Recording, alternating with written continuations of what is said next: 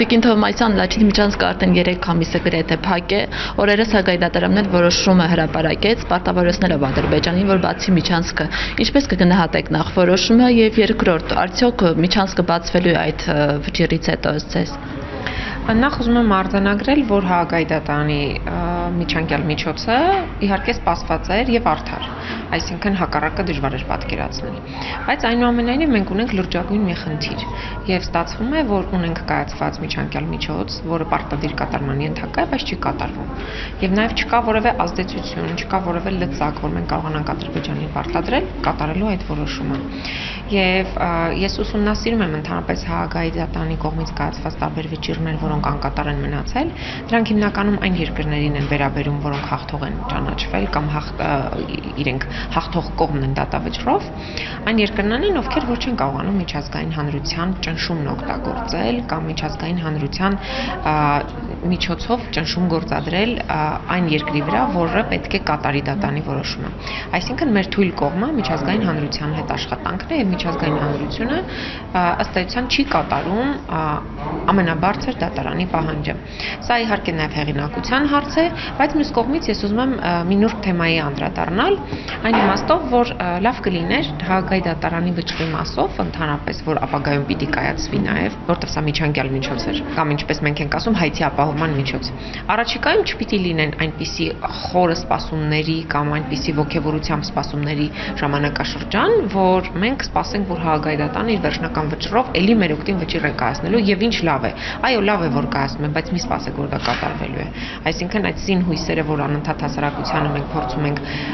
տարբեր օղակներով իշխանության ներկայացուցիչները փորձում են մատուցել, որ ահա արդարությունը հաղթեց, այո, արդարությունը հաղթեց թղթի վրա։ Իսկ իշխանությունները ունեն ինչ որ լծակ դիմելու, չգիտեմ, ինչ որ ուրիշ կառույցի, որը կարողանա պարտավորեցնել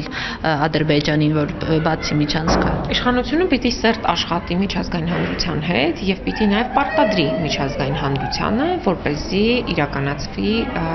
հայցի ապահովման միջոցը, միջանկյալ միջոցը, որը կիրառվել է։ Բայց միաժամանակ ուզում եմ արձանագրել, որ այս պահի դրությամբ դեռ չկան այդ ցանկալի արդյունքները, որոնք որ մենք պատկերացնում ենք եւ ուզում եմ ձեզ նաեւ տեղեկացնել, որ ես որպես մարդու իրավունքների պաշտպանության եւ հանրային հարցերի հանձնաժողովի նախագահ արդեն երկար ժամանակ է հենց վճռի կայացման հաջորդ օրը ուղարկել եմ միջազգային բոլոր կառույցներին աշխարհում եւ մարդու իրավունքների պաշտպանությամբ զբաղվող բոլոր կազմակերպություններին կարելի ասել եւ խնդրել եմ, պահանջել եմ, պարտադրել եմ իրենց մանդատի շրջանակներում նպաստել վճռի կայացմանը։ Ցավոք սրտի դեռ արդյունք չունենք։ Եվ իշխանությունն էլ պիտի անի նույնը, այսինքն պիտի միջազգային հանրությանը ստիպի ազդելու Ադրբեջանի որոշման վրա։ Կուզենայինք անդրադառնալ նաև մի տեխնացուի խնդրին, մեկ ամսից ավել է Հայաստանի Հանրապետությունը մարդու իրավունքների պաշտպան չունի։ Կարծես տեխնացուներ չկան ոչ ընդդիմադիր կողմից, ոչ իշխանական։ Սրա պատճառը ցես որն է։ Մենք ասում եմ ընդդիմությանն էլ եւ իշխանությանն էլ տվյալ դեպքում մենք չենք կարող նույն հարթության վրա դնել, բայց իրավիճակը այնպեսին է, որ մեզ մարդու իրավունքների պաշտպան պետք չէ։ Եվ ստացվում է այսպես, որովհետեւ եթե մի ամիս մենք կարող ենք մնալ առանց այդ կարևորագույն ինստիտուտի գլխի, ուրեմն կարող ենք եւ այդպես ապրել։ Իմ սա իմ առաջի տպավորությունն է, որովհետեւ չի կարող սահմանադրական այդ անկախ մարմինը այսքան անարժեք լինել իշխանության համար։ Ինչու եմ առաջի հերթին շեշտադրում իշխանությանը, որովհետեւ հասկանալի է, որ իշխանության տեխնացուի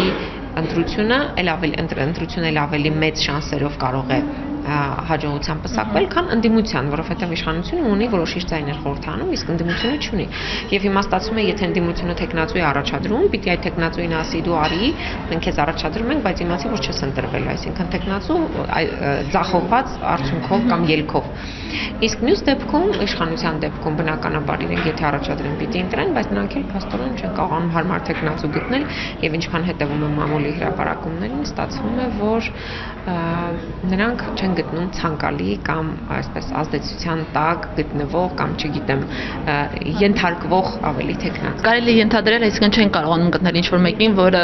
ճակատավոր ասած կդառնա խաղալիք իրենց ձեռքին հետևելով նախքինների այսպես ասած օրինակին Քրիստինա Գրիգորյանը 1 տարի ընդամենը պաշտոնավարեց Այո, շատ կարճ ժամանակահատված է, որպեսզի գնահատական տանք մարդու իրավունքների նախորդ պաշտպանի աշխատանքին, բայց միաժամանակ պետք է շեշտել, որ Արման Թաթոյանը մարդու իրավունքների պաշտպանի գրասենյակը բավականին բարձր վստահության նշաձողի վրա է բարձրացրել եւ մենք մակում ունենք ակարգի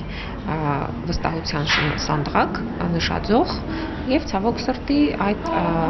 իրավիճակը կարող փոխվել։